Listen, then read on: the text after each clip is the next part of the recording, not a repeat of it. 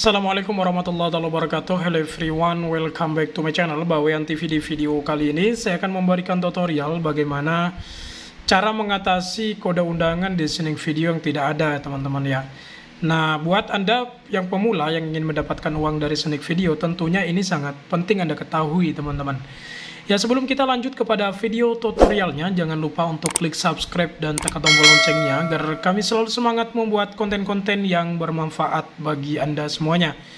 Oke, buat teman-teman yang sudah subscribe, saya ucapkan terima kasih. Nah, oke teman-teman ya. Nah, buat teman-teman nih, yang ternyata ketika mendownload snack video dan ketika dibuka snack videonya, itu tidak muncul kode undangan ya.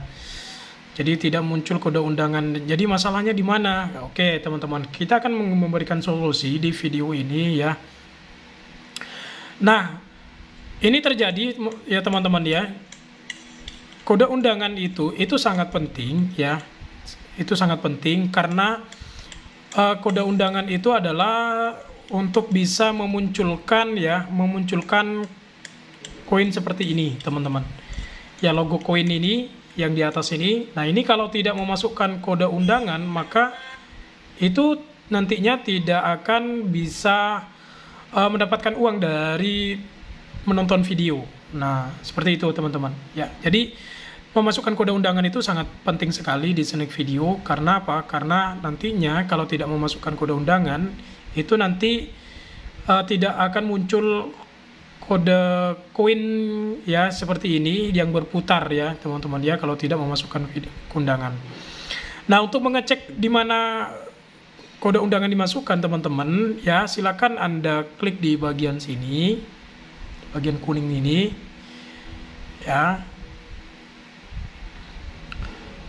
Oke. Nah, kemudian di bagian sini teman-teman nanti akan ada logo untuk memasukkan kode undangan. Itu kalau Anda baru mendaftar ya teman-teman ya, mendaftar.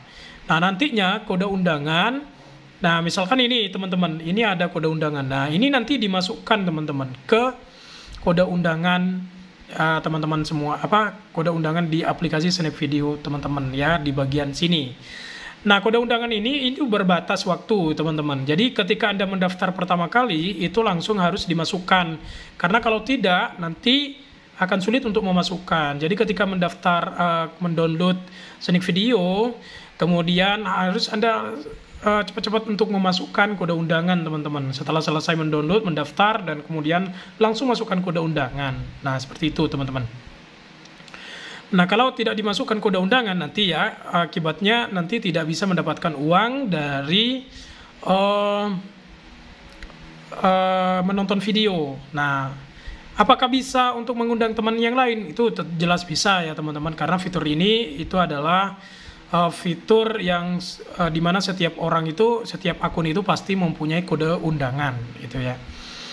Jadi kalau misalkan terlanjur uh, kode undangan itu tidak dimasukkan lebih dari tujuh hari dan sebagainya, ya lebih yang yang sudah diwaktukan, nah apakah bisa di apa istilahnya? Apakah masih tetap bisa untuk menghasilkannya? Tetap bisa teman-teman, asalkan kode undangan anda itu ya dimasukkan oleh orang lain atau teman anda gitu ya. Nah, seperti itu teman-teman. Lalu bagaimana solusinya kalau kode undangan itu tidak muncul? Nah, kalau kode undangan itu tidak muncul berarti ada yang salah dengan teman-teman dalam uh, proses mendownload kemudian mendaftar dan sebagainya yaitu salah satunya adalah menggunakan dua akun. Karena ketika mendaftar itu ada beberapa metode ya baik menggunakan Facebook kemudian nomor dan sebagainya. Nah itu kalau misalkan teman-teman itu salah ada apa uh, mendaftar dua kali ya nantinya itu event ini tidak akan muncul ya teman-teman ya. Lalu bagaimana caranya?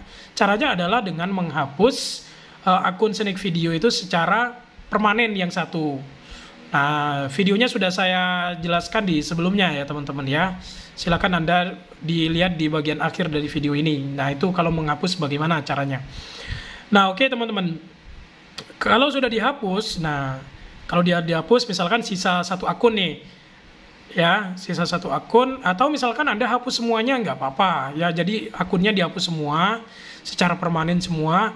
Nah kemudian tunggu lebih dari 30 hari teman-teman.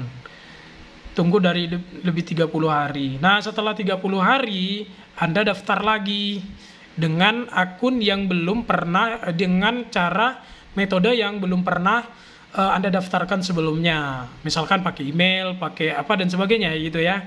Nomor ataupun yang lain yang belum pernah Anda daftarkan. Nah, jadi seperti itu caranya teman-teman. Nah, nanti baru Anda akan muncul lagi nanti uh, untuk memasukkan kode undangan. Ya, mungkin itu saja teman-teman yang bisa saya berikan di video kali ini. Semoga informasi ini bermanfaat. Assalamualaikum warahmatullahi wabarakatuh.